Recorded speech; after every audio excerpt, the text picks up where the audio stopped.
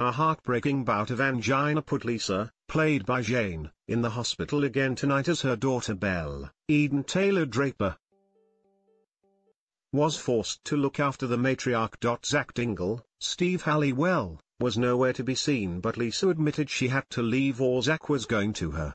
After decades on the ITV soap, Emmerdale actress Jane revealed, Lisa decided to leave because of her health condition.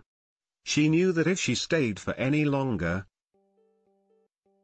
it wasn't going to be good for her. Being around Zak is not good for her health. Lisa has not been able to do anything to resolve the situation with Liv and she's very upset that Liv has been sent down. But the fallout of that is Zak has been vile to Lisa and not supported her at all. Aaron's had a go at her too, so everyone's against her, she explained to Digital Spy.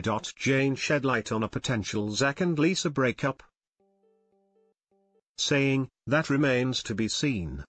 However, Jane did confirm that she hasn't left the Emmerdale cast,